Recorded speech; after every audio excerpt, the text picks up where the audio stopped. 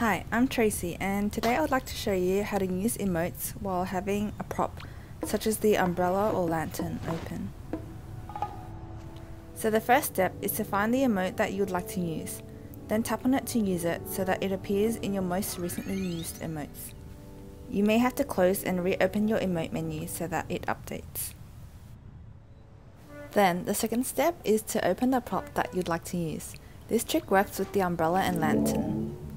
The third step is to press and hold on the emote that you'd like to use and on the prop button, then release them both at the same time. This may take a few tries to get right. Sometimes your prop might close, but don't worry. You can just open your prop and try this step again. I've put a recording of my fingers as requested by my friend Poe to make it easier to see what I'm doing. And while I'm at it, I'll show you another example with the other Lightseekers umbrella.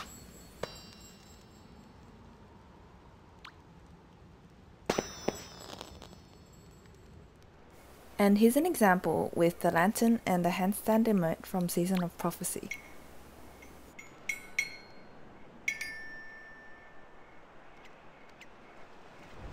And you can go in home and be basically a lighthouse for everyone else.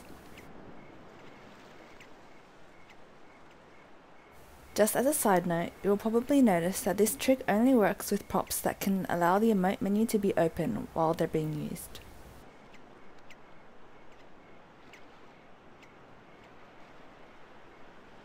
But yeah, that's all from me for today. I hope you found this video helpful and I hope you have fun with using this trick.